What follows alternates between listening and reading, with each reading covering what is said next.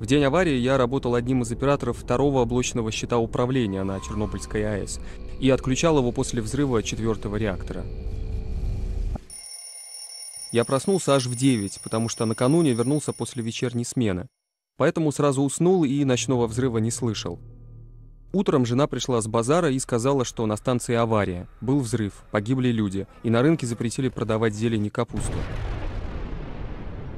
Я сказал, что такого не может быть. Посмотрел на улицу, там поливочные машины мыли асфальт пеной. Когда-то на ЧАЭС уже была небольшая авария, тогда тоже мыли улицы, поэтому я и в этот раз не подумал, что это масштабная катастрофа.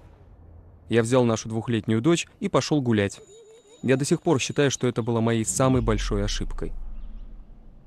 На улицах уже были БТРы с дозиметрами, но офицеры закрывали приборы, чтобы не было видно показателей.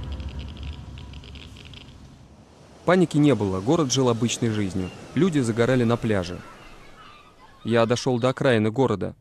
Оттуда была видна ЧС, руины четвертого реактора. И вот тогда я понял, что произошло что-то страшное. Я схватил ребенка и побежал домой. Дома я сказал на улицу не выходить, закрыть окна, мыть все раствором марганцовки. Вечером я должен был заступить на смену. Я не сомневался, что должен это сделать. А кто бы тогда локализовывал аварию?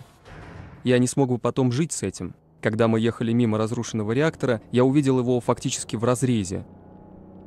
Было понятно, что он дышит в атмосферу, выбрасывая огромную массу радиации.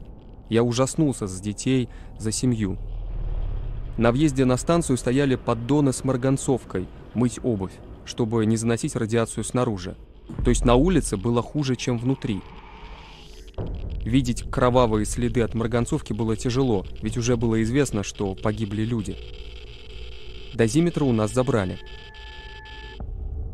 Переступать через груды одежды пожарных на полу было трудно, потому что словно через людей переступаешь. Я вошел в машинный зал, посмотрел на крышу четвертого блока. Большинство кнопок на щите управления уже не действовали, поэтому мы отключили второй блок, нарушая инструкции. Но если бы мы этого не сделали, то он сам бы отключился с еще более тяжелыми последствиями. Я уверен, что большинство приказов правительственной комиссии были ошибочными и приводили лишь к увеличению масштабов катастрофы и к бессмысленному избыточному облучению людей. Кому это было нужно?